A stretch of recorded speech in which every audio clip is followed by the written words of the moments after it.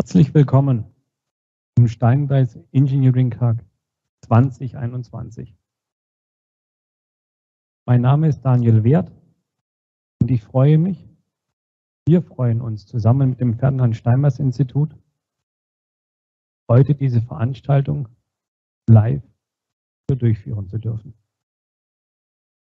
Es freut uns vor allem, dass Sie in dieser großen Anzahl heute auch hier im Auditorium erschienen sind. Für uns als Ferdinand Steinmeier Institut, als ein Forschungsinstitut im Bereich der Business-Transformation, der Veränderung von Geschäftswelten, vom Business, im Kontext von Digitalisierung heute eine Premiere in zweierlei Hinsicht. Auf der einen Seite, wie ich gerade mit dem einen oder anderen von Ihnen schon sprechen konnte, endlich wieder eine Veranstaltung live im direkten Austausch eins zu eins von Unternehmer zum Unternehmen, von Gleichgesinnten zu Umsetzern, zu Wissensbegierigen, von Wissenschaftlern zu Entscheidern, letzten Endes wieder eins zu eins. Die zweite Sicht, warum es eine Premiere ist für uns, es ist eine Veranstaltung im hybriden Format. An dieser Stelle heiße ich Sie, heißen wir Sie hier im Auditorium herzlich willkommen und Sie, liebe Zuhörerinnen oder Zuschauer im Online-Bereich, auch an Sie ein herzliches Hallo. Es freut uns, dass Sie sich heute haben einladen lassen zu einem Titel, der auch für uns neu ist. Intelligente, vernetzte Produkte, wenn künstliche Intelligenz auf das Internet der Dinge trifft eine Kombination von KI und IoT. Im weiteren Verlauf die Zusammenführung zum Thema AI-OT. Bin gespannt, wie wir alle damit in den nächsten Stunden miteinander umgehen, was Sie für sich am Ende der Veranstaltung mitnehmen und vor allem, wie wir uns nachher in den Pausen oder auch im Anschluss miteinander austauschen. Der Titel hat bei Ihnen sicherlich die eine oder andere Frage aufgeworfen. Ich könnte auch sagen, ich hoffe, dass der Titel die eine oder andere Frage bei Ihnen aufgeworfen hat. In der Vorbereitung auf den heutigen Tag hatte ich mit dem einen oder anderen Teilnehmer ein Gespräch. Und in diesem Diskurs möchte ich Sie kurz mitnehmen.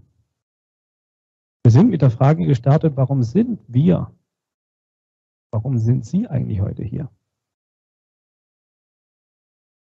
Warum sind wir als Unternehmer heute an der Stelle, wo wir eigentlich heute sind? Welche Entscheidungen, welche Services, welche Produkte haben uns letzten Endes dahin geführt? In diesem Zusammenhang sind wir einen kleinen Schritt zurückgegangen, haben uns mit den Gedanken etwas treiben lassen und sind etwas nostalgisch, etwas historisch geworden. Jede Zeit, seine Monumente. Die Zeit der Antike. Die Erbauung von Pyramiden, deren Daseinsberechtigung bis heute unbestritten und wer einmal davor gestanden hat, in der Strahlkraft und Wirkungsweisen auf jeden Einzelnen phänomenal. Ein immenser Kraftakt von vielen Personen, durchgeplant bis ins letzte Detail aber bis heute fehlt die finale Bestätigung, wie das Konstrukt eigentlich erschaffen wurde. Wie jeder einzelne Stein zu einem gesamten Bilde zusammengebaut wurde. Und denken Sie einmal für sich einen Moment nach. Welches Monument gab es beispielsweise im 13. Jahrhundert?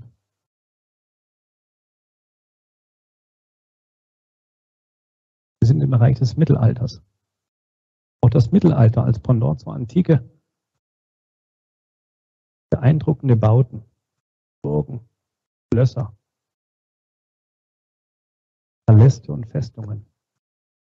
Es war aber auch die Zeit der Erfindungen, der Windräder, der Wassermühlen, im Großen und wenn wir es ins Kleine gehen, die Erfindung des Hufeisens.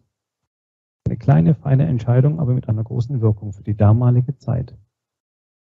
Jedes für sich einen Nutzen für die einzelnen Gewerke, für die Handwerker, die man vielleicht damals noch nicht kannte, welchen Vorteil, welchen Nutzen, welche Innovation steckt dahinter. Alles in allem Monumente einer Zeit, welche ihre Daseinsberechtigungen hatten, welche ihre Daseinsberechtigungen haben, dennoch permanent weiterentwickelt wurden, optimiert wurden oder durch gänzlich andere Erfindungen vom Markt verschwunden sind. Monumente einer Weltgeschichte, die für sich genommen eine mehr, das andere weniger, ihren respektablen Platz in den Geschichtsbüchern gefunden haben. Jetzt bin ich mit der letzten Geschichte vielleicht einen Schritt zu weit gegangen. Warum? Mein Kollege Heiner Lasi hat es mit den Pyramiden angetan. Er hat ein Fable dafür entwickelt. Was es mit dem Monument dieser Zeit, mit seiner Pyramide zu tun hat, darf Ihnen Heiner Lasi selber sagen. Herzlich willkommen.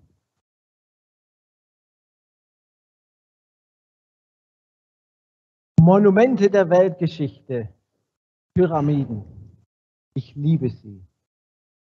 Vielleicht, weil sie so einfach zu zeichnen sind. Ne? Und Pyramide schaffe ich zu zeichnen.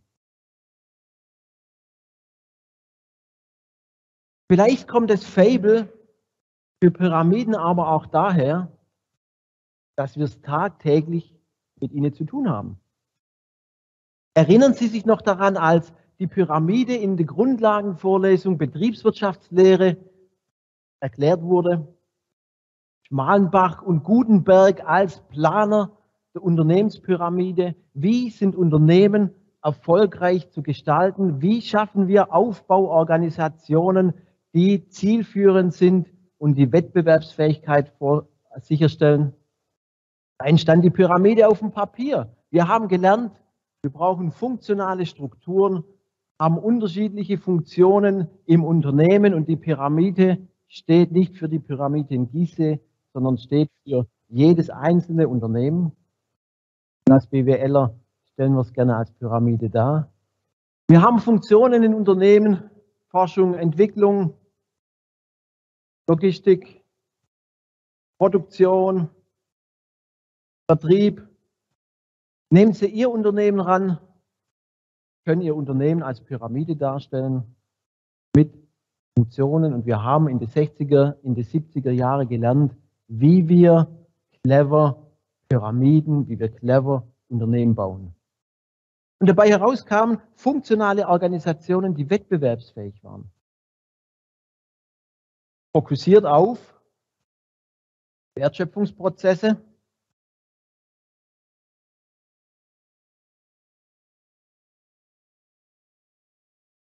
die Abarbeitung von Wertschöpfungsprozessen in einer bis dato nicht gekannten Effizienz.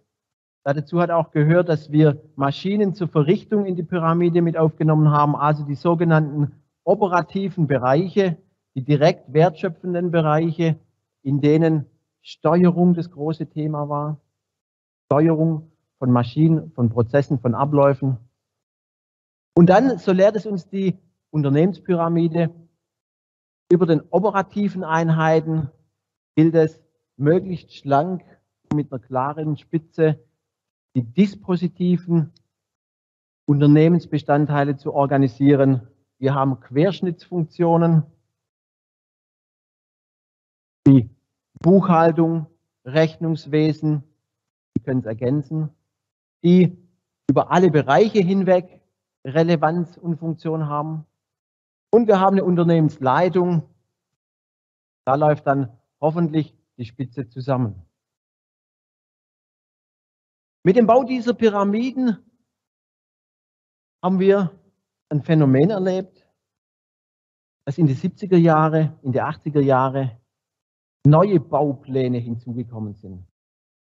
Baupläne, die entwickelt wurden, um Unternehmen befähigen, zielführend IT zum Einsatz zu bringen. Grundlage Wirtschaftsinformatik, erstes Semester, Automatisierungspyramide. Ausgehend von der Organisationspyramide haben sich damals EDVler, Betriebsinformatiker, wie sie ja immer geheißen haben, Gedanken darum gemacht, wie können wir mit IT Forschung und Entwicklung effizienter gestalten. Es sind CAD-Systeme entstanden. Und CAD-Systeme haben den Weg in Unternehmen gefunden, Forschungs- und Entwicklungsabteilungen. Im Bereich direkter Wertschöpfung, operativer Systeme haben wir eine grandiose Entwicklung von Automatisierungstechnik erlebt. Automatisierung, Technik, Automatisierungstechnologie, Technik im Einsatz, die Unternehmen dazu befähigt hat, Effizienzsteigerung, Steuerungsfunktionalität in Informationstechnik abzubilden und so wirtschaftlicher zu werden. Meine Damen und Herren, ich glaube, wir sind uns einig, die Automatisierungspyramide ist noch kein Monument im Geschichtsbuch. Wäre interessant zu wissen, wie viele von Ihnen, wie viele Unternehmen, in denen Sie tätig sind, sich mit diesen Automatisierungspyramiden beschäftigt. Wo Sie aktuell dran sind. Vielleicht, was ist das geeignetste ERP-System? Nehmen wir ein SAP oder nehmen wir ein Microsoft Navision oder haben wir eine Betriebsgröße, die eher für ein Sage oder für ein Lexware-Produkt spricht? Typische IT-Vorhaben. Optimierung, Effizienzsteigerung, bestehende Organisationsstrukturen mit IT, mit Software zu unterstützen, um die Wettbewerbsfähigkeit von Unternehmen zu steigern. Vielleicht sind Sie auch am Punkt und sagen, okay, wir beschäftigen uns mit dem Thema MES, Manufacturing Execution Systeme. Wir brauchen Schnittstellen in die Automatisierungstechnologie. Wir wollen durchgängig Daten von, vom Shopfloor, von der Werkstatt, von der Halle in unsere betriebswirtschaftlichen, betriebswirtschaftlichen Systeme bringen. Vielleicht sind Sie im Moment am Punkt und sagen, uns interessiert das Thema BI, Business Intelligence. Systeme, die dazu da sind, Management Reporting, Entscheidungsunterstützung zu befähigen. Die Systeme, die anhand unserer Organisation gezielt im Unternehmen eingesetzt werden, um die Entscheidungsfindung zu verbessern. Jetzt können wir weitergehen. Wo setzen wir KI ein? Wo bitte ist in der Pyramide die richtige Stelle, richtige Stellen um künstliche Intelligenz, Algorithmen zur Entscheidungsfindung zu unterstützen. Da würde wir viele Stellen finden, keine Frage. Als Forscher, als Wissenschaftler wage ich jetzt aber die These, Pyramiden, Organisationspyramiden, Automatisierungspyramiden sind kein Relikt der Vergangenheit, aber aktuell auf dem besten Weg, zu einem Monument der Geschichte zu werden. Jawohl, die Pyramiden haben einen verdienten Platz in unseren Geschichtsbüchern. Sie haben dazu beigetragen, dass seit dem Zweiten Weltkrieg, dass seit den 50er, 60er, 70er Jahre unsere Unternehmen Weltmarktführend geworden sind, unsere Wirtschaft geboomt hat, weil wir es wie wenige andere verstanden haben, unsere Unternehmen zu gestalten, organisatorisch, und IT-technisch. Wenn wir aber den Blick ehrlich in die Zukunft richten, dann müssen wir feststellen, wie es eingangs geheißen hat, jede Epoche, jedes Zeitalter hat seine Monumente, Zweckbauten, die in einer gewissen Zeit einen guten Nutzen getan haben, die gute Dienste getan haben, aber deren Zeit irgendwann in den Geschichtsbüchern festgehalten wird mit einem Enddatum. Und an der Stelle denke ich, aus unserer Perspektive, aus unserer Wahrnehmung, aus unserer Beobachtung, aus unserer Forschung stehen wir im Moment, was ansteht, ist der Wechsel Pyramide, wir haben sie, Pyramide, wir haben sie gut optimiert und vielleicht haben wir noch die ein oder andere Hausaufgabe im Kontext der Pyramide fokussiert auf unser, Unternehmen, auf unser Unternehmen fokussiert auf die wertschöpfenden Prozesse unseres Unternehmens noch die ein oder andere Verbesserung vorzunehmen. Aber neue Wertschöpfung, digitale Geschäftsfelder, Nutzenstiftung in Bereichen, wo wir heute noch keine Wertschöpfung haben, finden sich überwiegend nicht in Pyramiden. Und deshalb wollen wir heute mit Ihnen den Schritt wagen und den Ausblick wagen, was ist die nächste Epoche? Was ist eine zielführende Unternehmensarchitektur? Was sind zielführende Geschäftsfelder? Was sind zielführende Geschäftsmodelle auf dem Weg, neben der Pyramide bereits jetzt was Neues aufzubauen, um zukünftig wettbewerbsfähig zu sein? Und Sie haben mich richtig verstanden. Die Pyramide besteht. Die Pyramide wird genutzt. Die Pyramide ist noch gut. Sie ist ein die hat einen Zweck und wir sind gut bedient, wenn wir unsere Hausaufgaben in der Automatisierungspyramide erledigt haben.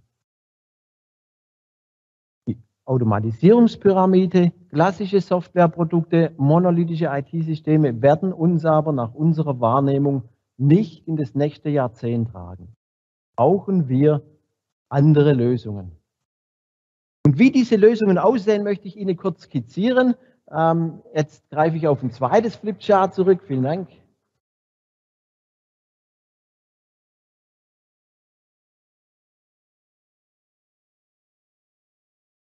Wir lassen die Pyramide stehen. Ich habe sie nicht weggefahren. Wir haben sie.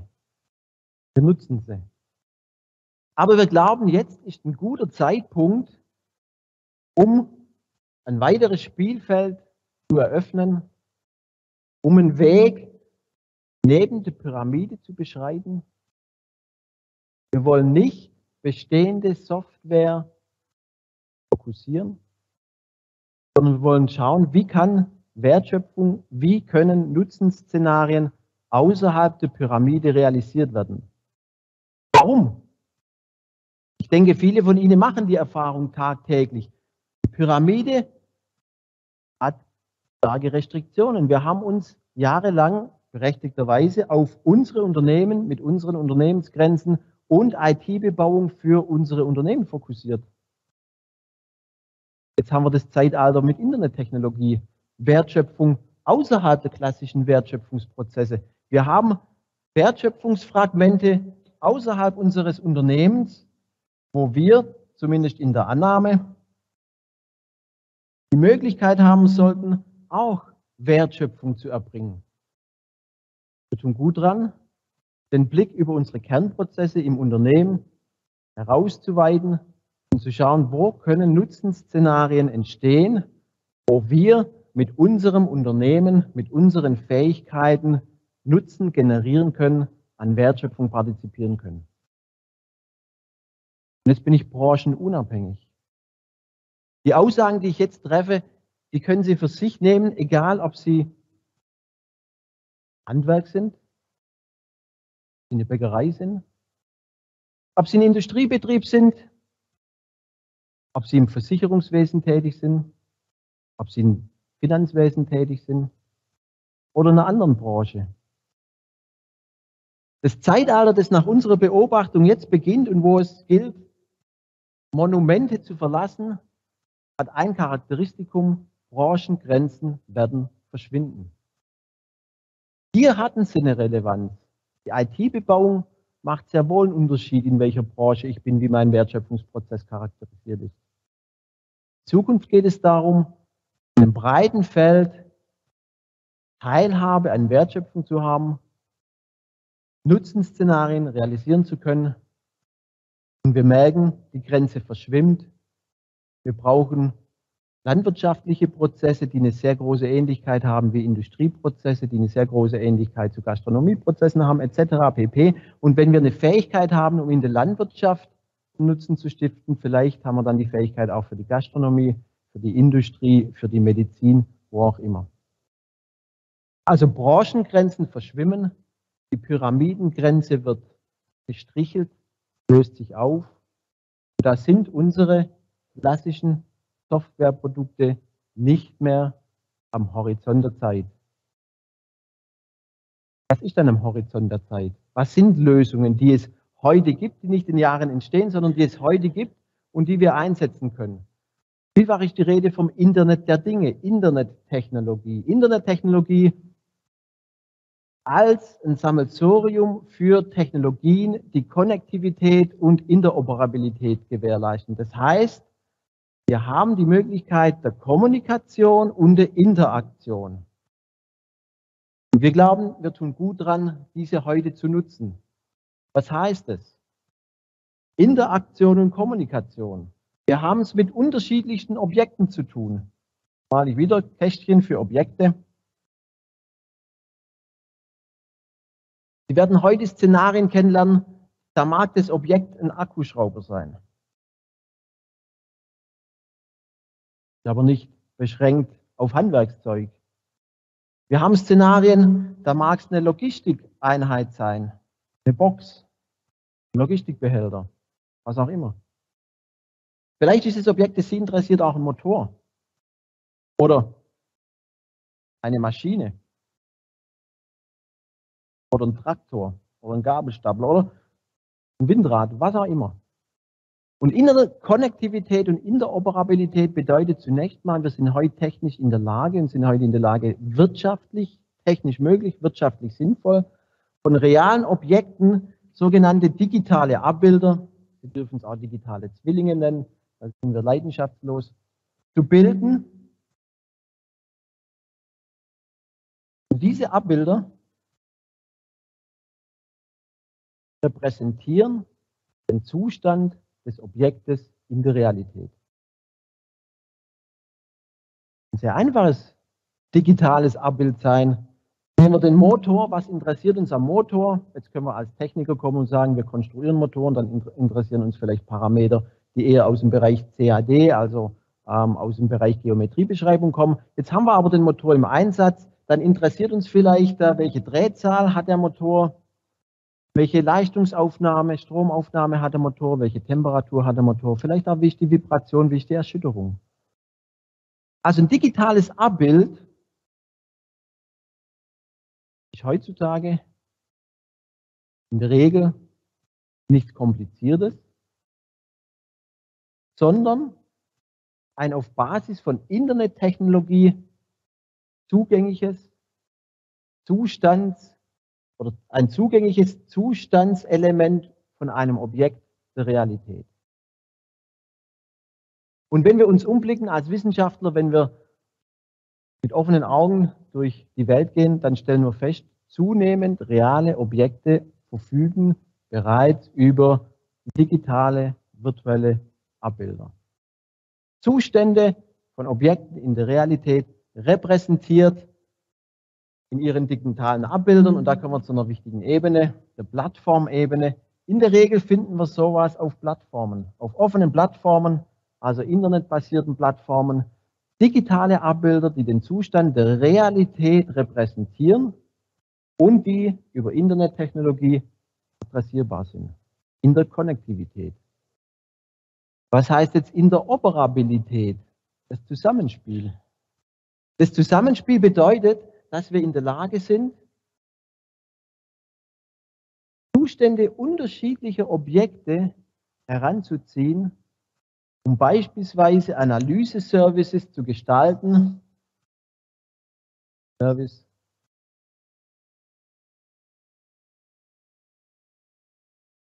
Und damit Zustände zu erkennen. Zu erkennen, ob Zustände kritisch sind im Zusammenspiel unterschiedlicher Objekte. Vielleicht sogar den Schritt weiter, Services zu gestalten, die dann eingreifen und die den Zustand von Objekten in der Realität verändern. Die Architektur, die aus unserer Wahrnehmung die Pyramidenarchitektur zunächst ergänzt, vielleicht gänzlich ablöst, ist eine offene Plattformarchitektur auf Basis von Technologien, wie wir sie heute haben, ergänzt um digitale Abbilder, wie wir sie heute teilweise schon haben, vielfach schon haben. Mit der Option, dass unterschiedliche Partner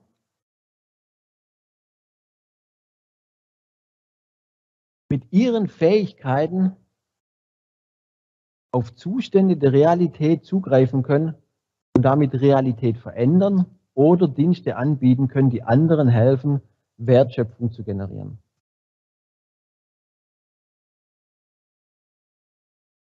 Welche Relevanz hat die Pyramide?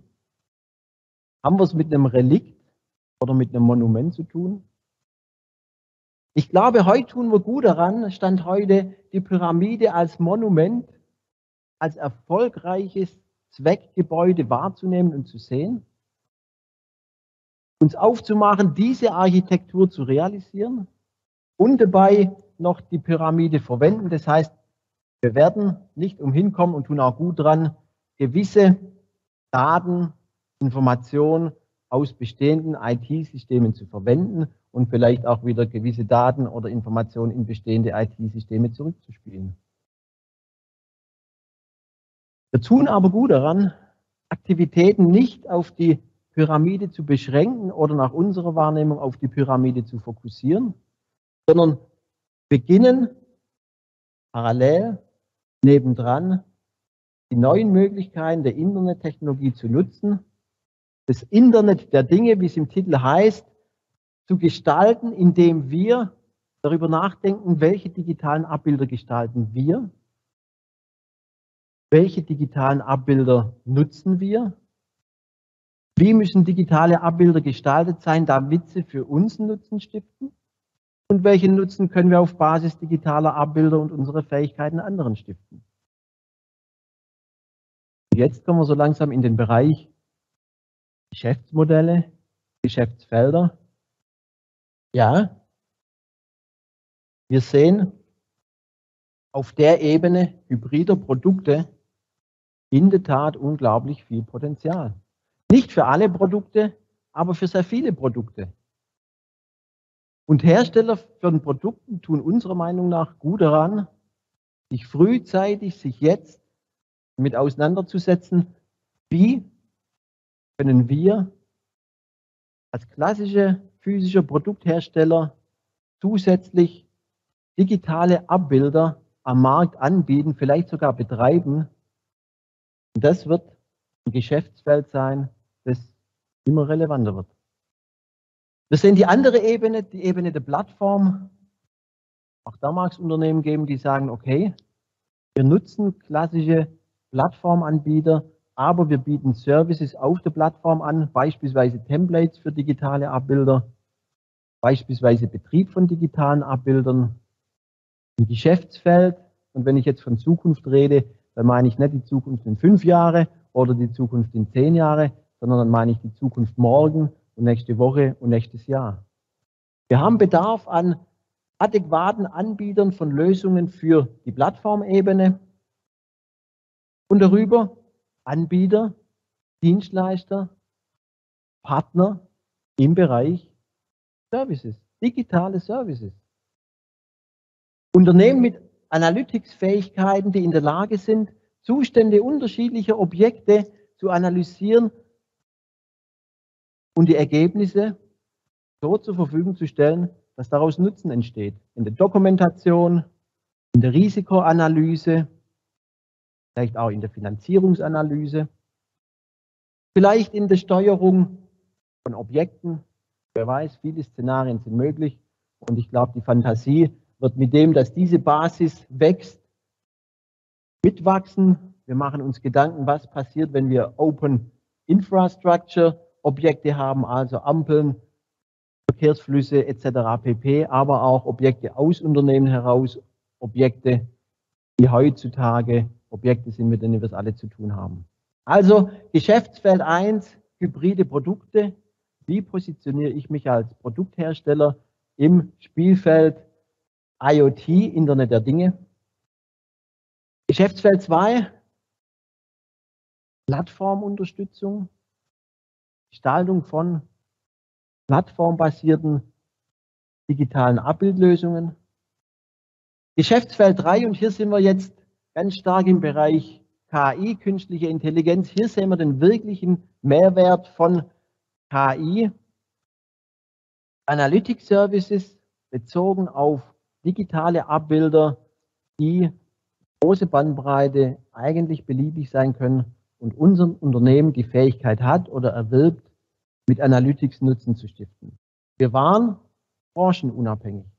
Von der Landwirtschaft über Produktion, über Versicherung, über Finanzdienstleister. Sie benennen die Branche, in der sie aktiv sind aktuell und Sie merken, die Branche wird zukünftig aufgelöst werden, weil es darauf ankommt, welche Fähigkeiten werden über Services, über KI-Services eingebracht. Und lassen Sie mich noch abschließen mit einer Beobachtung, die wir haben. Die Beobachtung geht dahin, die Pyramide repräsentiert ein Unternehmen. Und Unternehmen haben gut daran getan, die IT-Bebauung für ihr Unternehmen optimieren, ihr Unternehmen permanent zu verbessern, unter dem Stichwort Industrie für Null Schnittstellen zu schaffen, Durchgängigkeit zu schaffen, alles okay. Das neue Spielfeld kennt diese Unternehmensgrenze nicht. Das neue Spielfeld unterscheidet nicht mein Unternehmen, meine Daten, gibt es nicht mehr. In dem Gedanke glaube, müssen wir uns lösen. Es geht darum, kooperative Datenräume aufzubauen, Datenräume, wo unterschiedliche Objekte durch unterschiedliche Partner genutzt werden können. Und deshalb ist uns die Partnerebene sehr wichtig. Wir glauben, der zukünftige Wettbewerb wird sich hier abspielen und darum gehen, welche Partner haben gemeinsam Lösungen die Wettbewerbsvorteile versprechen, die das überlegene Nutzenszenario ermöglichen, die das überlegene ähm, Wertschöpfungsszenario beinhalten. Daher von unserer Perspektive, künstliche Intelligenz trifft auf das Internet der Dinge. Wo tun Unternehmen gut daran, einen Fokus drauf zu legen?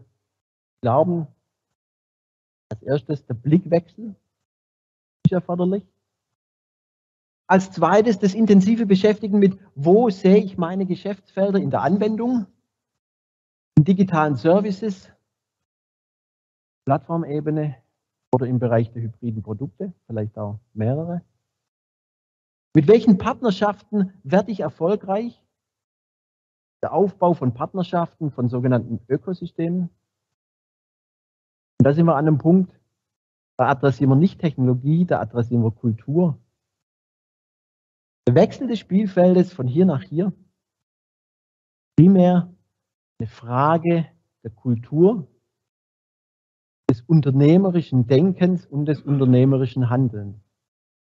Ich hoffe, ich konnte die Hürden abbauen, nicht komplizierter, sondern einfacher, nicht teurer, sondern günstiger.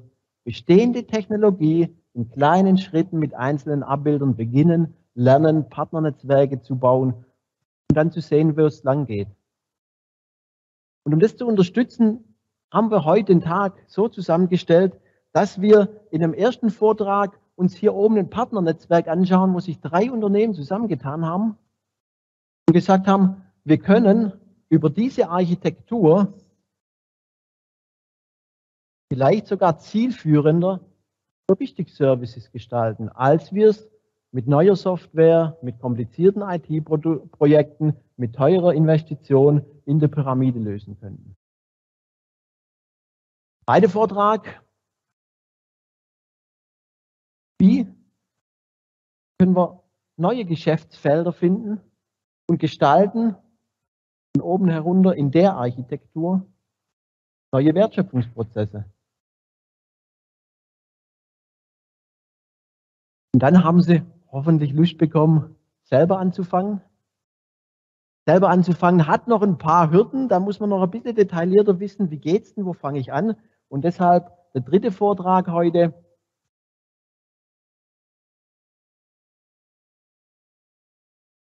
Gestalte ich denn digitale Abbilder und Services? Wo beginne ich? Worauf muss ich achten? Wo finde ich Hilfe? Welche Referenzen gibt es dafür? Welche Architekturkomponenten gibt es dafür? ähm, gibt es schon eine Art Kochbuch, wie man hier vorgehen kann, wenn man sich vom rechten Feld ins linke Feld begibt. Das wird Inhalt des dritten Vortrags sein. Wir hoffen, wir haben Ihnen eine interessante Agenda zusammengestellt. vom Monument der Pyramide zum wertschöpfungsversprechenden Architekturansatz des Internets der Dinge in Kombination mit KI. Ich hoffe, die Intention wurde klar und wünsche Ihnen jetzt äh, spannende drei weitere Vorträge und dann keine Ausrede mehr, diesen Weg zu gehen. Vielen Dank.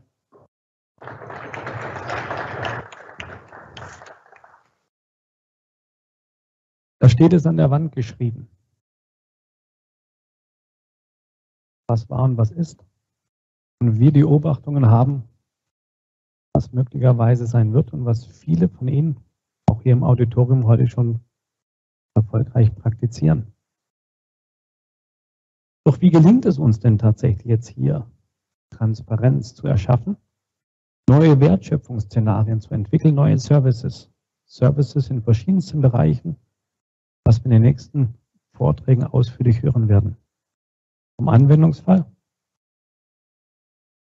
bis hin im Internet der Dinge unterstützt durch künstliche Intelligenz. Neben der IT, neben der klassischen Unternehmensinfrastruktur. Sehr schnell, sehr kostengünstig und nur dann erfolgreich, wenn Sie es auch praktizieren und anwenden. In der Regel, Heiner Lasi hat es gezeigt, ein Unternehmen alleine wird es nicht können. Ein Unternehmen alleine, das Partnerunternehmen, was irgendein Produkt hat, wird es alleine nicht schaffen. Ein Plattformanbieter wird es alleine nicht schaffen. Aber die Kombination von Partnern, auch Partnern branchenübergreifend, kann es gelingen, und eines neues Verständnisses von Transparenz.